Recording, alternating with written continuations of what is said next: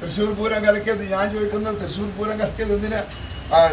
പിന്നെ നമ്മുടെ സുരേഷ് ഗോപി അല്ല സുരേഷ് ഗോപി സുരേഷ് ഗോപി.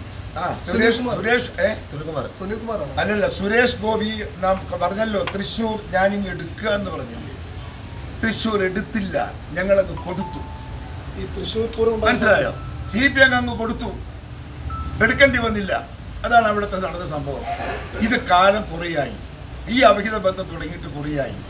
ഇത് പിണറായി ഞാൻ എസ് എൻ സി ലാവലിംഗ് കേസിന് എത്ര വർഷത്തെ പഴക്കമുണ്ട്? എത്ര വർഷത്തെ പഴക്കമുണ്ട്?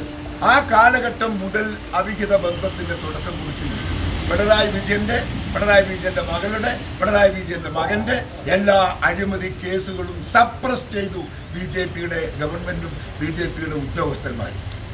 ആ അവിഹിത ബന്ധം തുടരുന്നു. ഇപ്പോഴും അത് നാളെയും തുടരും. അത്രയേ ഉള്ളൂ. ഈ അന്വേഷണത്തിലൊന്നും ഒരു ചുപ്പും ചുണ്ണാമ്പും പുറത്തു വരാനില്ല. ഞങ്ങൾക്കൊരു പ്രതീക്ഷയുമില്ല.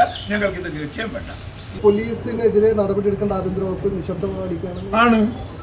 നിശബ്ദമായിരിക്കുകയാണ്. അതിനെ പറഞ്ഞു അതെല്ലാം പക്ഷപാതപരമായി ഒരു മുൻകൂട്ടി ഒരു മുൻ കാഴ്ചയോടുകൂടിയാണ് ഇതെല്ലാം സംഭവങ്ങളും നടക്കുന്നത്.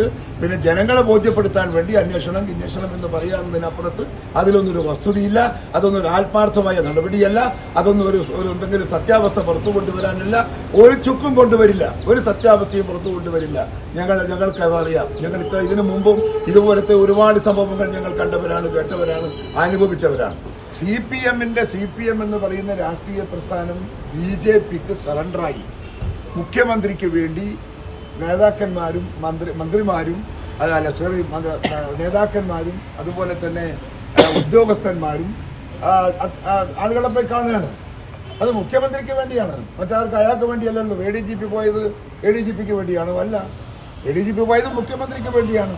അത് എല്ലാവർക്കും അറിയാം. ഞങ്ങൾക്ക് പണ്ടേ അറിയാം. ഞങ്ങൾ എത്ര കാര്യം പറയുന്നു?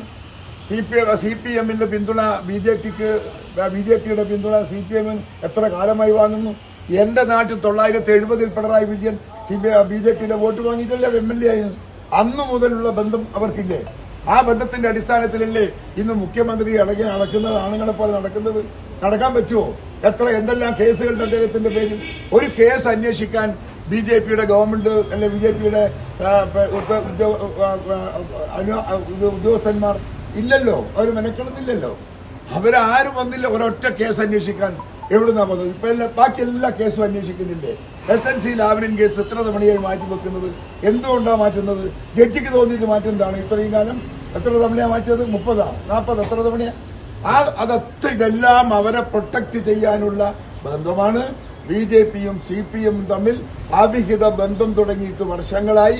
ആ അത് സംരക്ഷിക്കാനും അതിന്റെ അതിന്റെ അതിന്റെ മുഖ അത് അത് ഇവർക്ക് വരാൻ പോകുന്ന എന്താ പറയാ ഒരു ഒരു അഭിമാനക്ഷയം അത് ഇല്ലാതാക്കാനുമുള്ള ഒരു പ്രഹസനമാണ് ഈ അന്വേഷണം. ഈ അന്വേഷണത്തിലൊന്നും ഞങ്ങൾക്കാർക്കും വിശ്വാസമില്ല.